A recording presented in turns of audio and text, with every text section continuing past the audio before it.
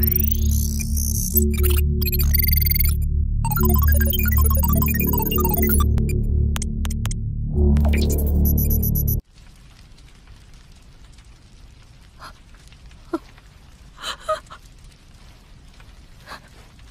父ちゃん？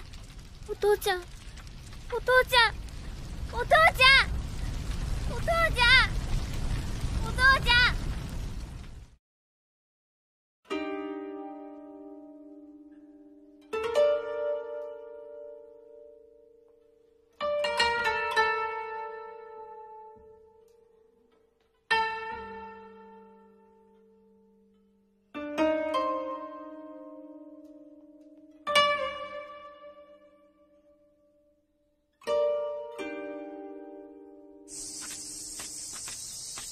おっかちゃん。おいらお腹すいたよ。いつか戦は終わる。そうすればお腹いっぱい食べられる。それまで絶対に負けちゃダメだよ。ドロロ。うん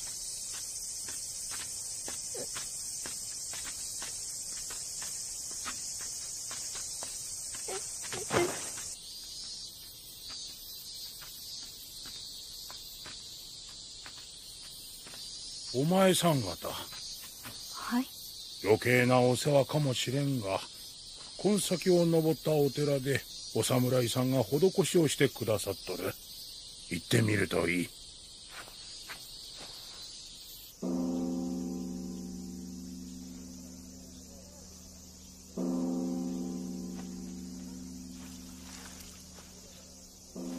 イタチこいつは驚いたな。あんた何してんだい？いやねうまく漁師さんに取り入ったはいいが今度は戦場で手柄を立てにはならんのさ。この辺りには野伏せりが多い。必要な人手を集めるにはこうするのが手っ取り早いのよ。それよりお頭はどうした？そうかい。久しぶりだなドロロ。元気そう。じゃあねえか。やめなドロロでもでもおいら。おっかちゃんの言うことが聞けないのかい？わかったよ。そろそろ終わりだ。全員分はねえからな。待ってなドロロ。私にもちょうだい。お前ワン持ってねえじゃねえか。こっちが用意した分はもうなくなっちまったんだ。悪いな。構わないよ。ここに。いやでも言う通りにしてやれ。へい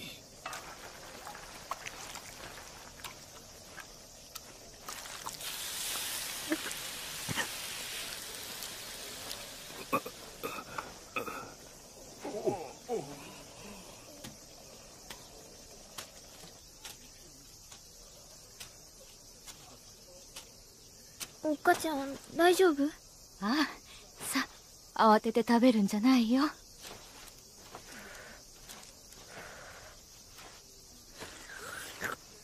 おいしいよ。おっかちゃんは？いいから全部お食べ。あんたのそんな姿は見たくなかったぜ。落ちぶれちまいやがって。ドロロ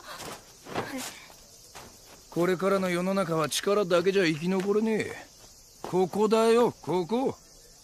賢くねえやつは。死ぬぞ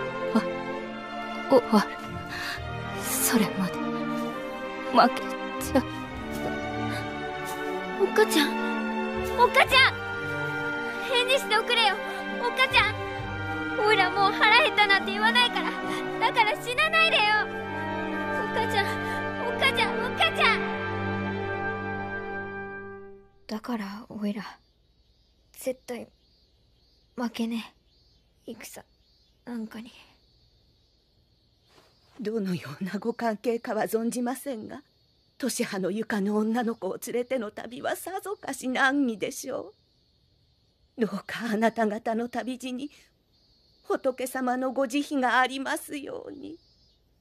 ガーゴン調整が。あの海女さんが言ってたけどおいら3日闇にかかってたんだって。寺にいる間のことは全然覚えてねえや。兄貴置いてかないでくれてありがとな。あ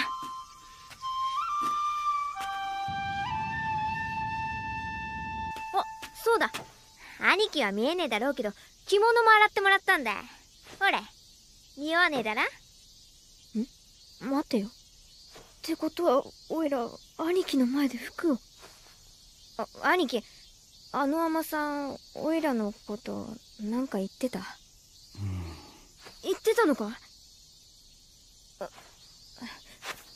あ兄貴おい聞こえてんだろ？ななんとか言え。おいこら兄貴。おい兄貴聞こえてんのか？黙ってないでなんとか言えよ。おい兄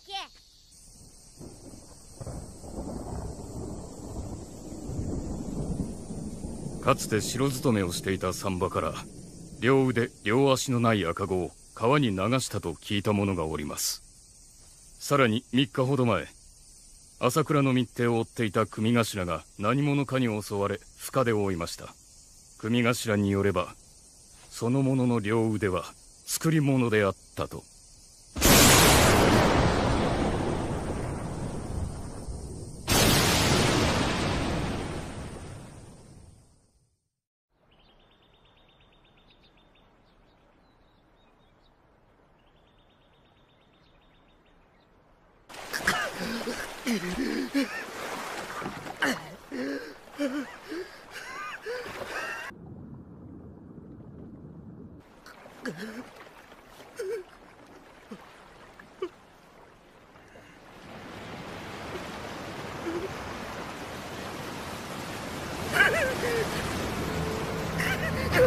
やめてくれ。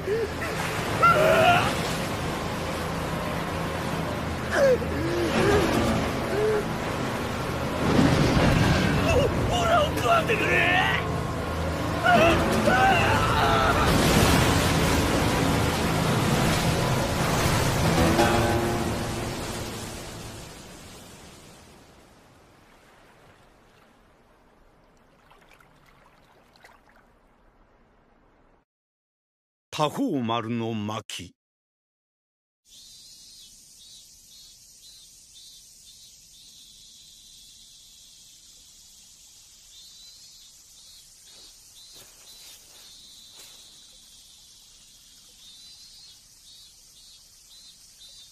もう二月以上も雨が降っておりません。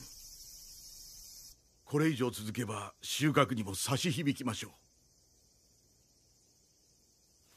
殿隣国の朝倉に不審な動きが睨み合いが続く国境の町に密かに兵を集めているとの知らせが入っております。軍を起こされる前にこちらから動くべきかと。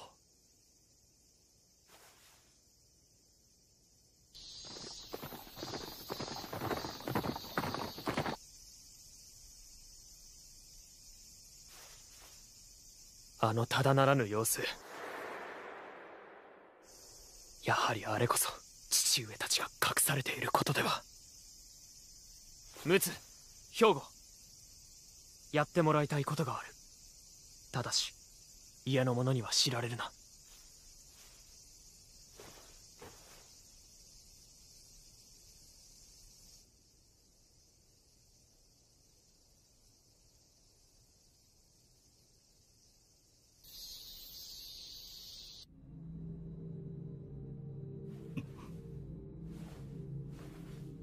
の赤子だな。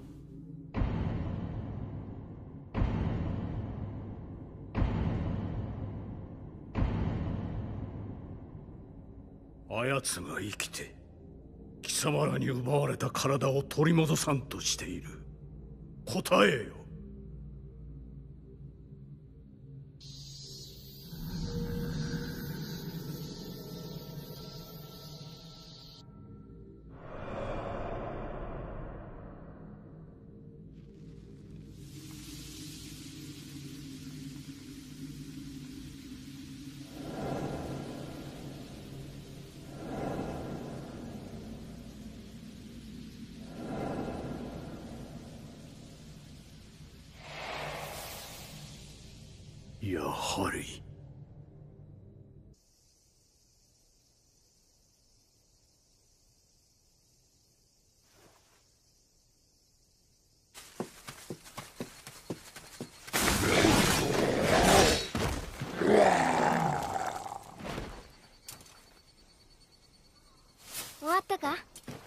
兄貴？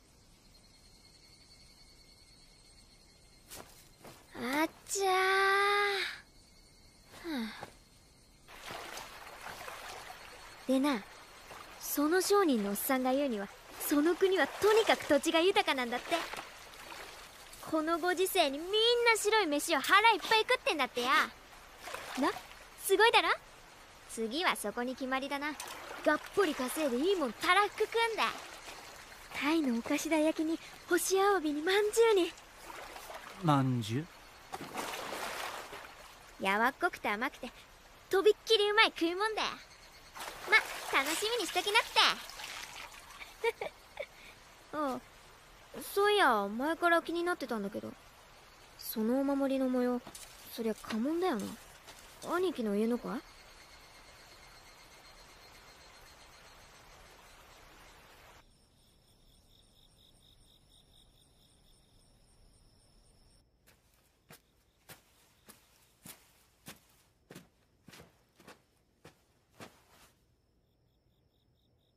薬を使いました。どのようなことでも答えるでしょう。父上から特別な命を申し使っているな。何を命じられた？16年前に消えた赤子と3番を探せ赤子だと？なぜ父上はその赤子を探す？それは答えよ。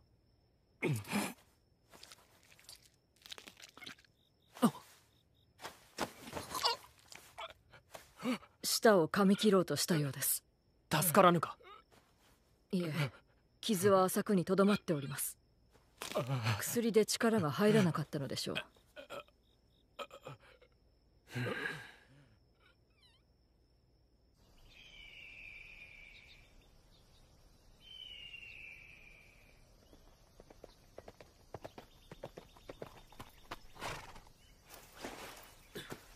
父上何をお考えですか？朝倉が不穏な動きを見せておる。それだけですか？父上なぜ赤子などお探しになられているのです？それも10年以上も前の。母上が拝む首のない菩薩像あれと関わりがあるのではありませんか？お答えください父上お前は知らずともよい。ですが二度は言わぬ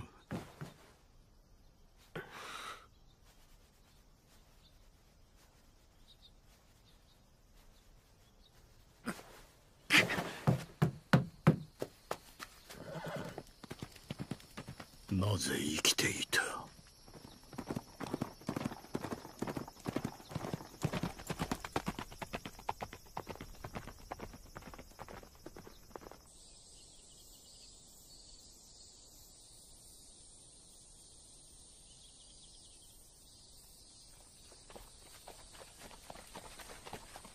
よくここが分かったな。幼少の頃は何かあるとこの場所へ。その度にこうして迎えに来た。いつだって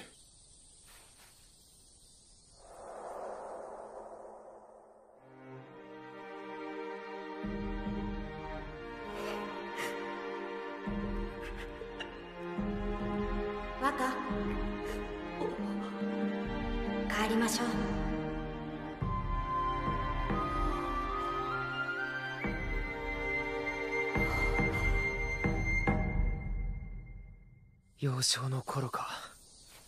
父上には今も私が幼子に見えるのだろう。だから戦にも出さぬし隠し事もなさる。父上のあのような顔初めて見たわ。赤子の剣とはそれほどの大事か。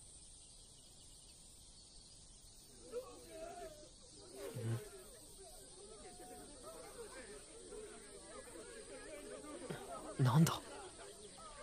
お願いしましたどうかご慈悲を。オラたちを見捨ててください。えい貴様ら話さぬか。手をどけねば。何事だ？多宝丸様。いえ屋敷へ戻ろうとこの村を通りかかった折この者たちが突然。どうかオラたちをお助けください。このままじゃ村の者みんな化け物に食われちまいます。化け物だと？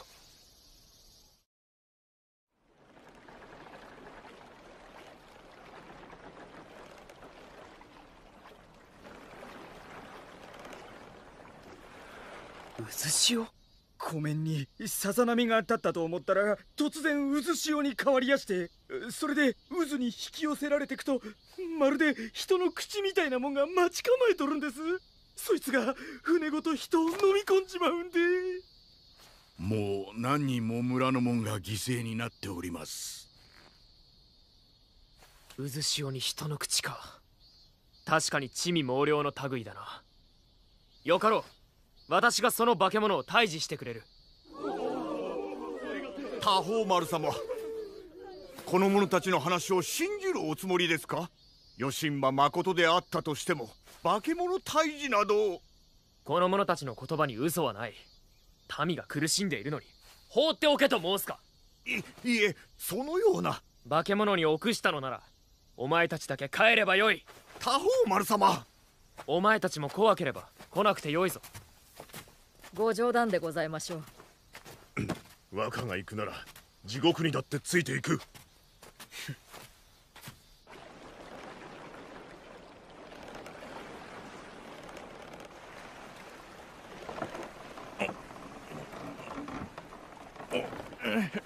どうした？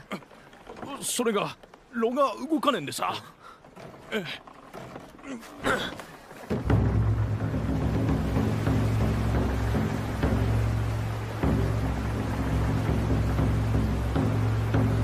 来る。なんだ？化け物だ！く食われちまう。プロタイルだ。綱を引け！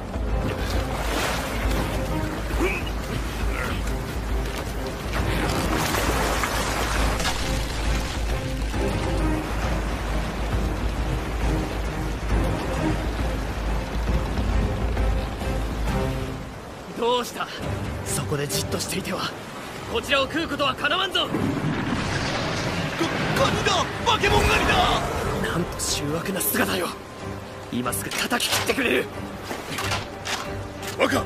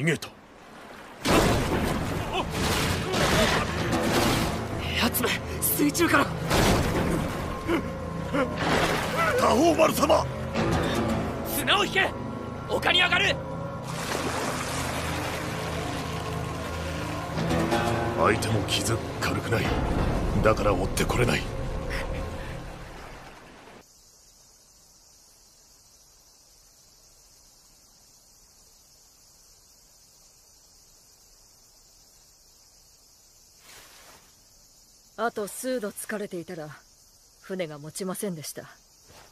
やはり戦場での戦いはこちらが不利かと。どうする？若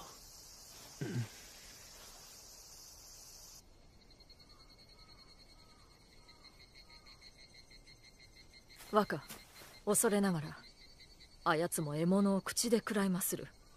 あらかじめ懐に火薬を忍ばせ飲まれた際炸裂させるのです外は硬くとも内は脆い。必ずや化け物を殺せましょう。飲まれたものもろともな。化け物と心中か。俺たちがやる。死ぬと言ったのだぞ。死なない。俺たち兄弟は若を守るためにいる。死んだら若を守れない。だから死なない。若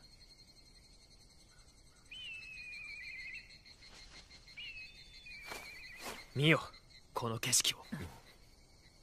山は緑が濃く泉は水にあふれ水田は稲で満ちている。これが醍醐の土地だ。だが私が生まれる前は違ったと聞く。水害によって稲は育たず木の根を噛んで日々の上をしのぐほどだったと。それをここまで立て直したのは誰か。我が父醍醐景光だ。私はその息子多宝丸化け物ごときこの手で必ずや打ち果たしてみせよう。お前たちがすべきは死ぬことではない。私を信じる。ただそれだけでよい。若。は兵庫私を担ぎ上げろ。早く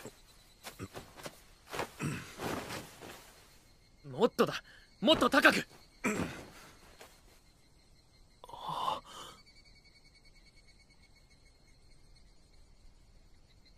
そうか。陸奥皆を集めろ。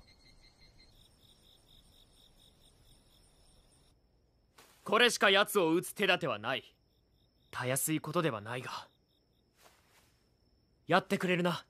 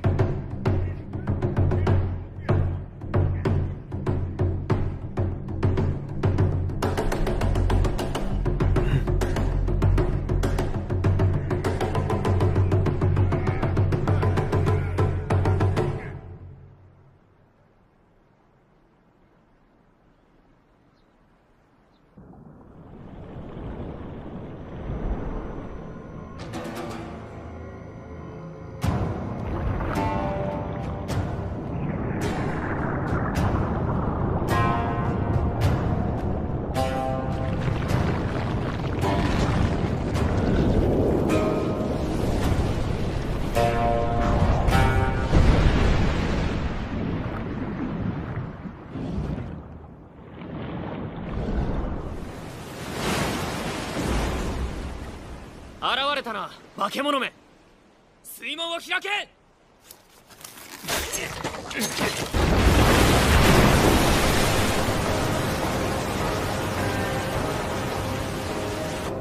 湖の脇にはいくつもの小さな湖が点在しておる。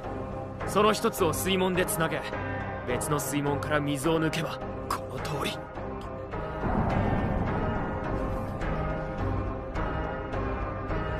姿を現しおったら今度こそ切ってくれる。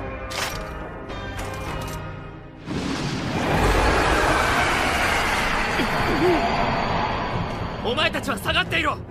来い陸奥兵庫。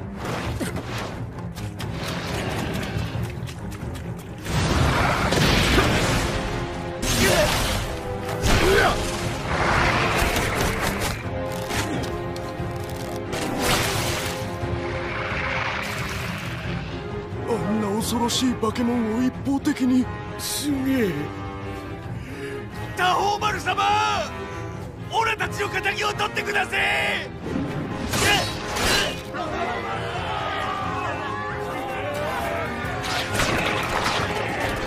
超化け物め!とっととくたばっちまえ!これまでだな。今楽にしてやる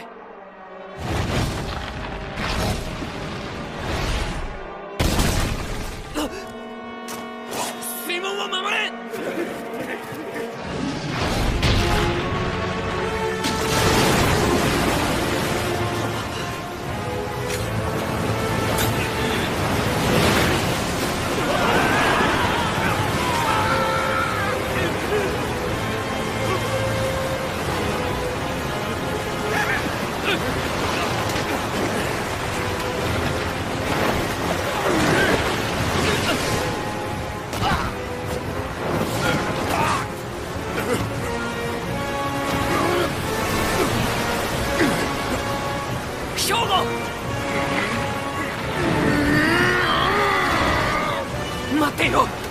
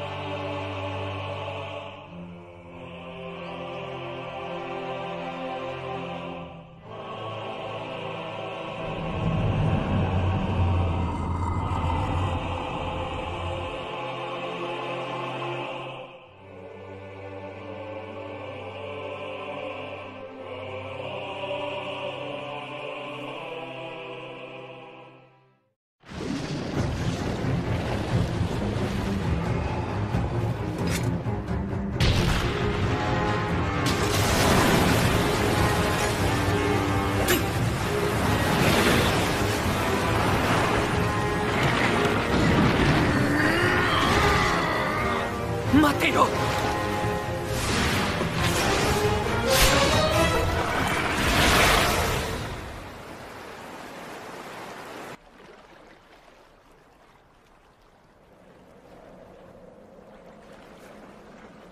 お前は？万門の巻上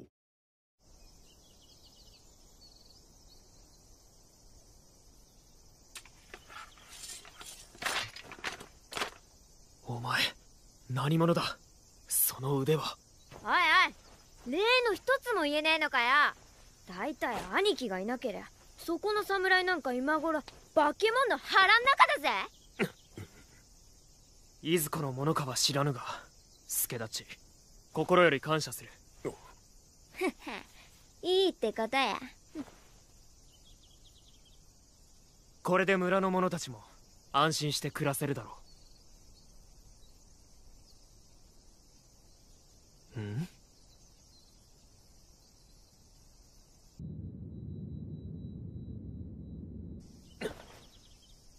どうした？兄貴？悪いな。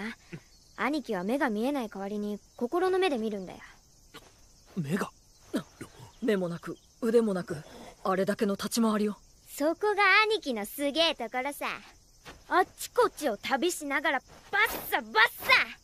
ちんけなやつは相手にしねえよ。狙うはとびっきりのつわもの化け物。きちんと持って寸法さ助けちん。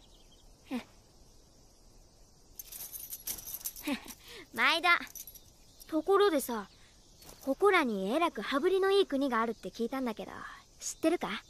ならば我が醍醐の国のことだろう。あと半日も下れば城下の町へ入れる。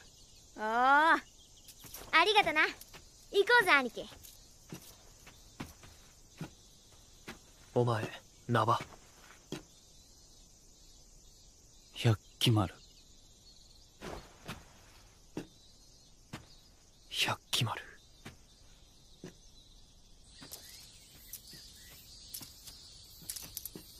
我が醍醐の国だってさいいもん着てたしこの国の偉いやつかもな。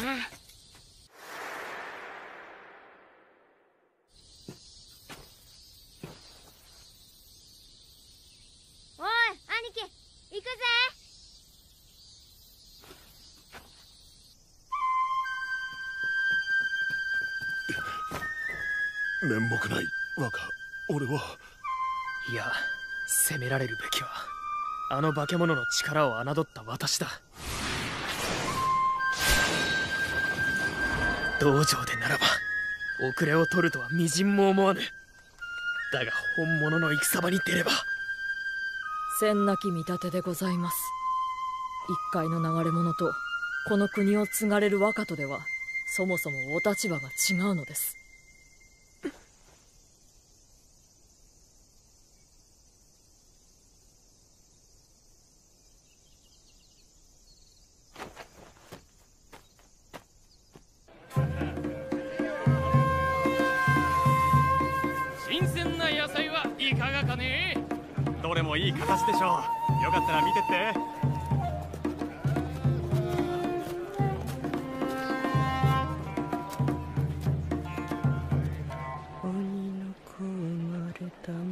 かか山の獣に食わしょうか。海の魚に食わしょうか。包んで流してもう見えぬ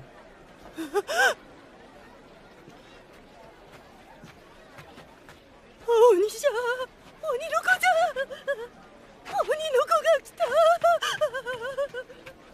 兄貴握り飯がある噂通りの真っ白い飯だ。それにあっちの。ありゃなんだ？こりゃ一日じゃ回りきれそうにないぜ。まずはなんか食おうぜ。兄貴あっち芝居だってよ芝居。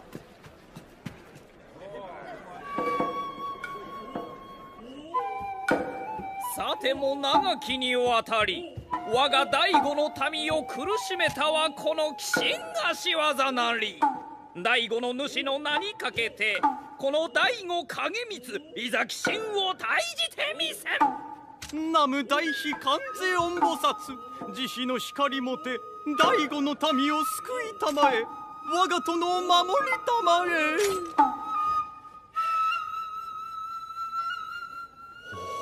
すげえんだなあのおっさん。おっさん？おっさんとは無礼な。あれはこの国を豊かにしてくださった漁師の影光様だぞ。ふん。そりゃまるで。うん。兄貴みてえだな。鬼神は打ち果たしたり逆らう敵はあまねく滅び幾久しく末永くあ醍醐の国は守られたり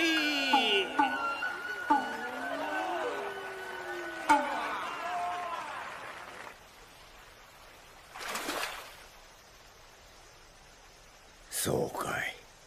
あの子たちには気の毒したね。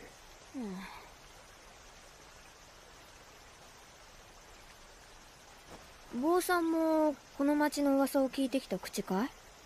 まあね。このご時世にここだけ別天地じゃないか。どんなご加護があってのことかと思ってね。ここの領主が打ち果たした鬼神が祀られてるって話だちょっくら見物してくるつもりさ。とうに死んだ化け物なんか何にもならねえや。オイラたちが用があるのは生きて暴れてる連中だ。そうかい。よっこらせ。あんた人を殺めたね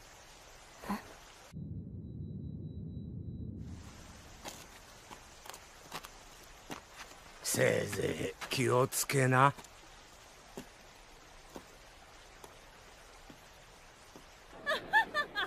そいつは本当かい。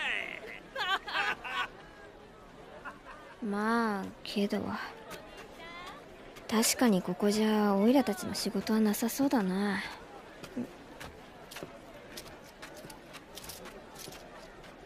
もうちょっと遊んだら次の町行って儲け話でも探すかなあ兄貴。って兄貴？万門のたたりじゃねえのかな。それのせいでここいらに雨が降らねえってのがね。しめったなこと言うもんじゃねえ。車で通った村もさっぱり降らねえってよ。万一このまま続いたりしたら今年の秋は。兄貴？ありえねえ。醍醐様のご領地は観音様に守られてんだぞ。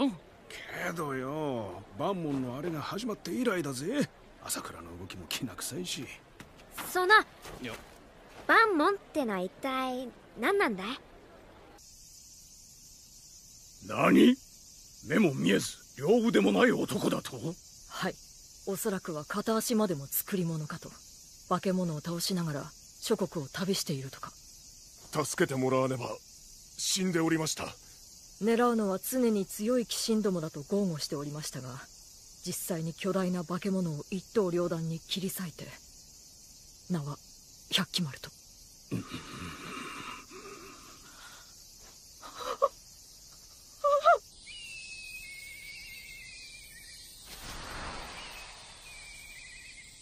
もともとは朝倉の軍勢からこの国を守る砦だったのよ。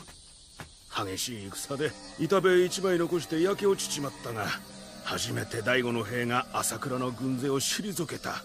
影光様のご意向もここから始まったんだ。ええー、たっけえ兵だな。醍醐の奥方様の守り官のそのご加護が宿ってるってさ。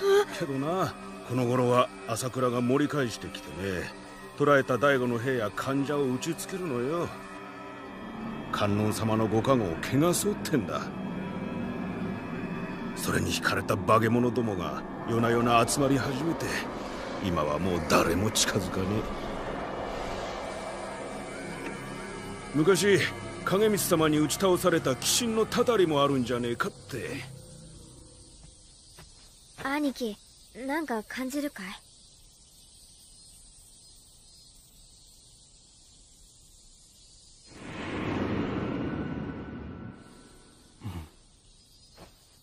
鬼神かい強い。かなり。おい。気をつけろよ。それ以上向こうへ行くとやられちまうぜ。ななんだ子供じゃねえかい。驚かしやがって。見なよ。朝倉の見張りだ。捕まったら最後万門に打ちつけられちまう。ここには何もないぜ死体あさりならよそにしときな。違うおいらたち万門の化け物退治に来たんだ。化け物を？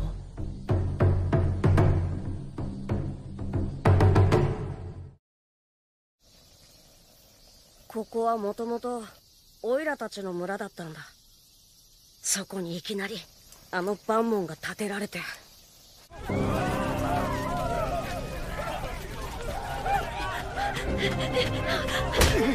あっちにオイラの家があるんだ。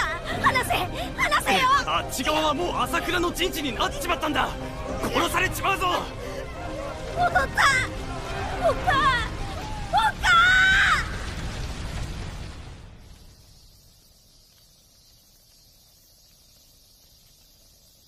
みんな村を捨てて出て行った。けどオイラは諦めねえぞ。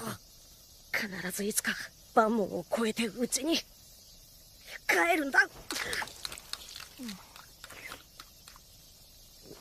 手伝う。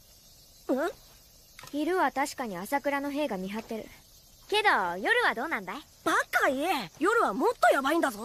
お前ら見たことねえだろ。とんでもねえ化け物があそこら一面に。大丈夫さ。うちの兄貴なら心配無用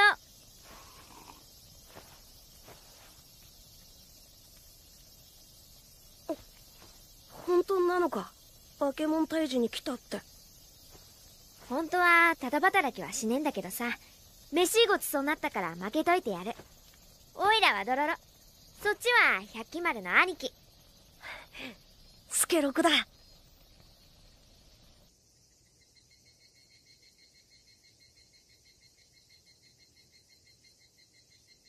坊やが本当に生きていた。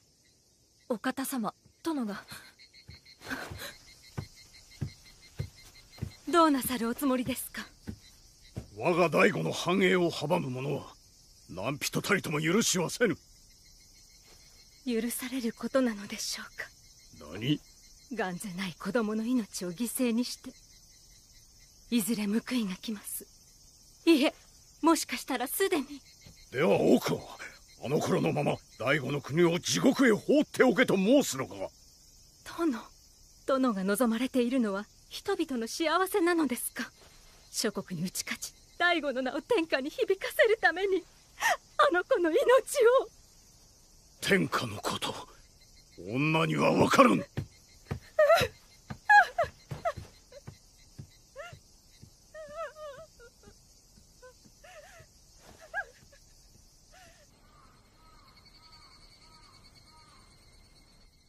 大悟景光が一時ほど前わずかな兵のみで出かけたようで夜遊びには物々しくさりとて大ごとにしたくないというような。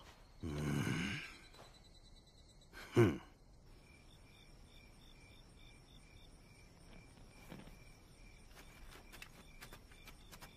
皆朝倉の見張りも引き上げた。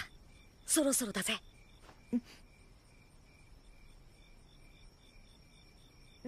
ななあスケロク。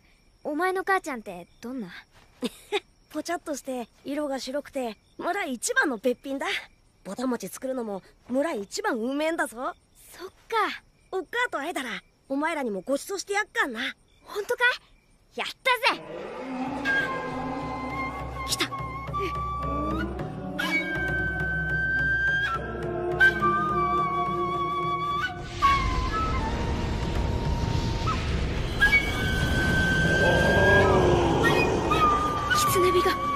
あれがバンモンの化け物だ。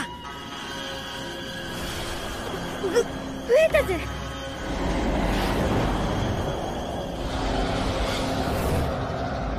えー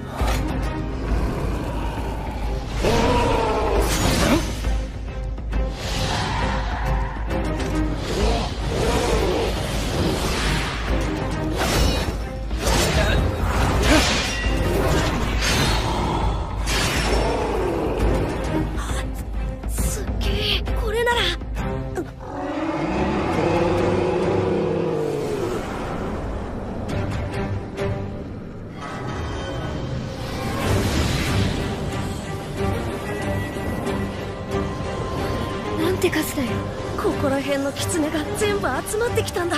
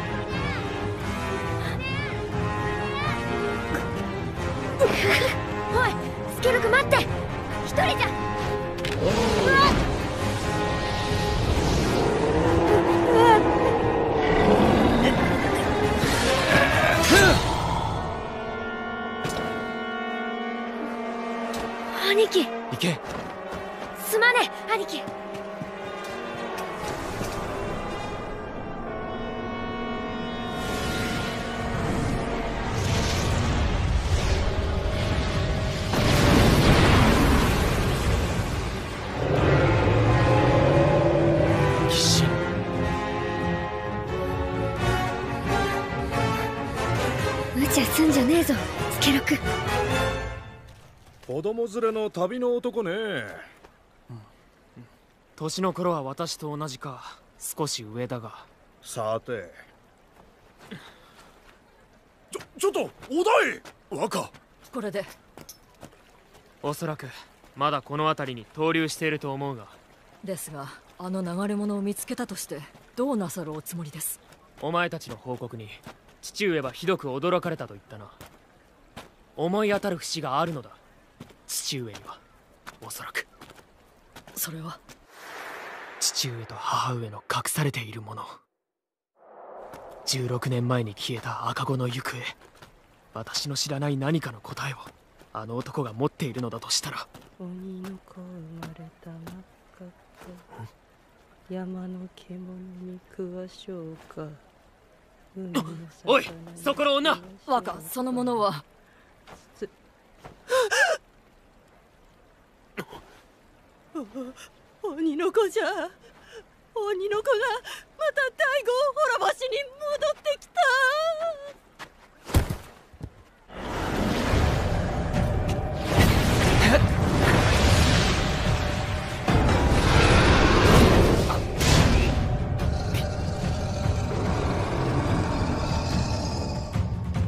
スケロクスケロク。どこ行っちまったんだよ。様。そこで何をしている？スケロク。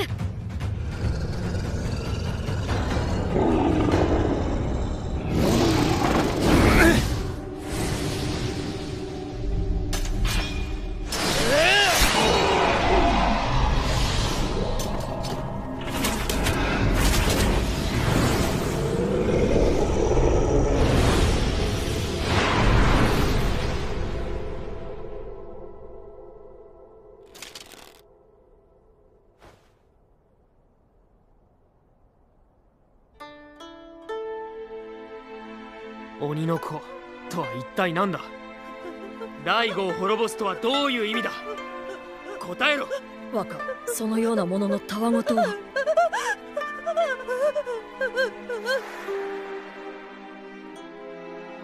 鬼のたたりじゃ。鬼が赤子を食ろうたんじゃ。手も足も鼻も口も肌も全部全部全部大悟の国にたたりを返しに帰ってきたんじゃ。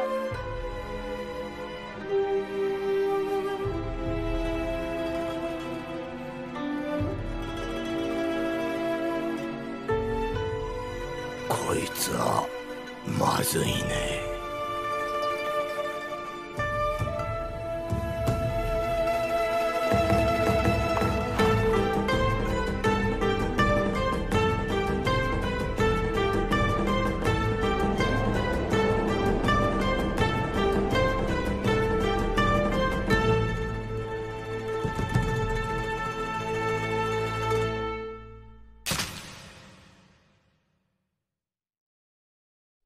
かつて己が野望のため我が子を鬼神に食らわせた父。食らわれた体を取り戻すため闇から這い出ようとする子。その子の犠牲の上に繁栄する醍醐の国で今二人は初めて顔を合わせる。その炎の意味を百鬼丸はまだ知らない。知らぬままにただ引き寄せられていた。誰？だ。万門の巻下。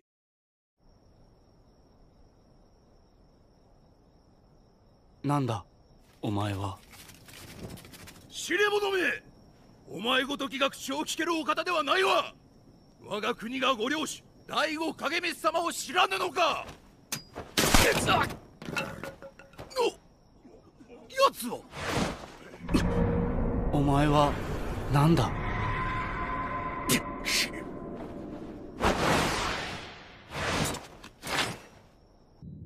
なぜ生きている？この生まれ損ないの鬼込が。殺せ！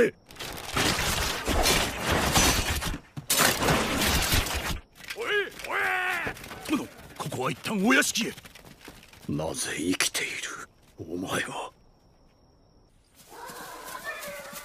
だぞこっちだ逃がすななぜ生きている？この生まれ損ないの鬼込が。俺は生まれ損ない。鬼？この野郎離せよ。離せってば。スケロクドロロ。ええ世話が焼ける小僧だ。スケロクは離せ。そいつはおっかちゃんに会いに来ただけなんだよ。うちに帰るだけなんだ。うるさい万門を超えてきた者は全て化け物の国の人間だ。化け物の国？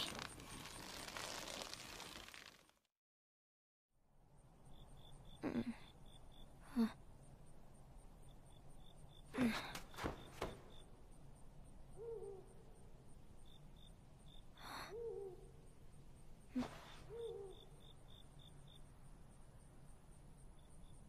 スケロク大丈夫か怪我はうちには戻れなかったのかうちなかった。村中皆殺しにされたっておっかもきっと。スケロクだ大丈夫。大丈夫だって。ほらオイラがいるじゃねえか。百鬼丸の兄貴だって絶対助けに来てくれるって。そしたら一緒に旅しようぜ。な 泣くなよ。そうだ泣くな。心配いらん。大悟のためには観世音菩薩の加護がある。完全音菩薩おお朝倉のやつが一枚板でしかない万門に阻まれているのもそのためだ。万門についてるのは鬼神だろ？朝倉の兵が言ってたぜ。化け物の国だって。大悟の国に手を出す者こそ鬼であり化け物だ。必ずや天罰が下る。あれ？その家紋確か。大悟家の家紋であり旗印だ。あ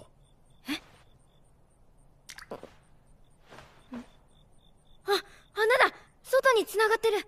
あれ狭すぎてダメだ。オイラたちならいける。スケロク逃げるぞ。こんなとこにいたら殺されちまう。いいよ。そしたらおっかに会える。バカ。こんなことでくじけてどうすんだほら立てよ。嫌だ。怖い。あの高さじゃ無理だ。やめとけ。言ってやる。こんなとこで死んでたまるか。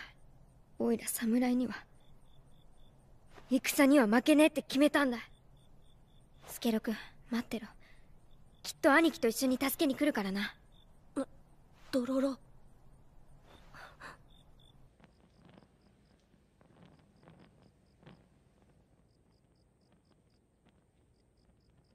若一旦お静まりなされます。離せ。母上。多宝丸どうしたのです？母上。母上は手足も目も鼻も耳も全て鬼に食われた赤子を覚えておられますね。16年前父上と母上が無残にも鬼に食わせた我が子のことを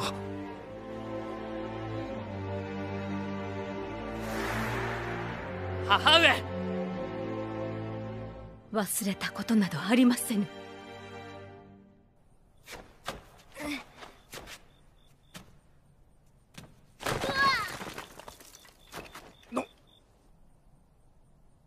あのガキ。急げ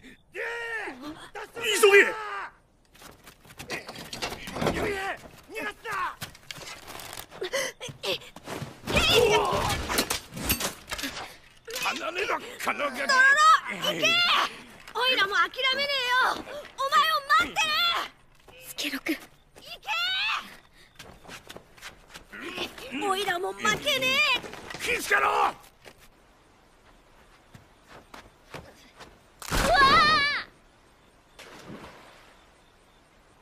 赤子を川に何も知らぬまま国のために。それでも人の親ですか？親なればこそ成し得たのだ。父上。多宝丸。そなたは知るまい。かつてこの国にあった地獄のごとき日々を。度重なる飢饉。流行り病。天変地それにつけ込もうとする周辺諸国。もはや風前の灯火だったこの国を。鬼神との約定が救ったのだ。この国の豊かさを喜ばぬ民はおらぬ民のためとは名ばかり。その実は父上の野望のためではございませぬか。領主の利はすなわち民の利ぞ。そのために犠牲にしたは他の誰でもない我が子。武士として何ら恥じることはない。しかし。くせ者!百鬼丸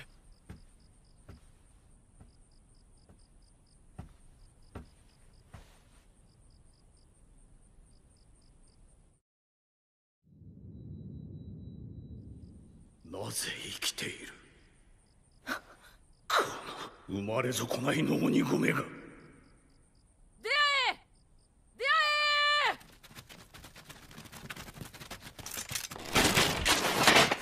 坊や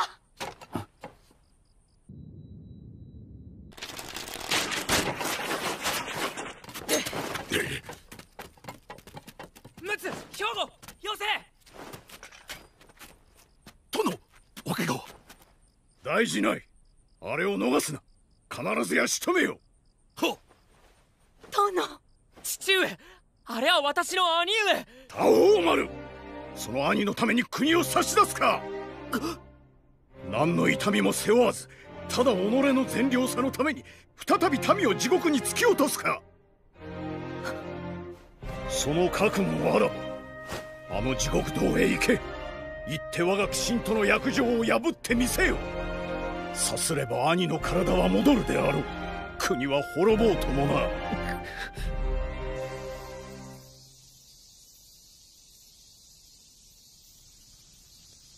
や生まれ損ないの鬼込めが。兄貴。ドロロ。よかった。兄貴一緒に来てくれ。スケロクが助けは間に合わんぞ。貴様らは大悟への宣戦布告として万門に貼り付けが決まった。どうやら万門に救っていたあやかしが追い払われたようでな。これで安心とばかり我が殿も本腰を入れたというわけだ。さっさと出ろ。こんな年寄りや負傷兵まで駆り出されるとは。朝倉はそれほどの大軍なのか。いやお屋敷に妙なく者が出たとかでな。手が足らんらしい領主が打ち果たしたなんざとんでもない。なんとか封じられているのはこの一体だがそれもどうやら怪しいね。こいつは私なんかが生半可に関わっていいもんじゃない。しかしあれだけの鬼神をどうして抱えていられるのやら。百鬼丸。誰が名付けたかは知らぬがあの子のこれまでが伺い知れるような。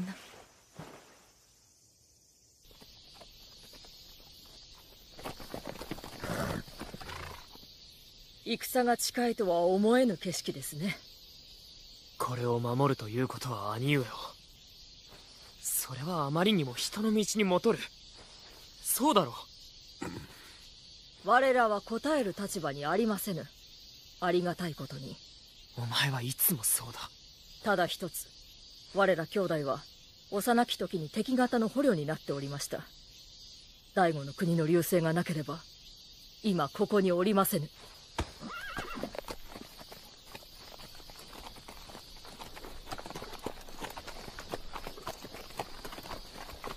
おや？これは？何か？あいえいえ何でもありません。ごめんなさいまし随分と百鬼丸に似た。出陣進め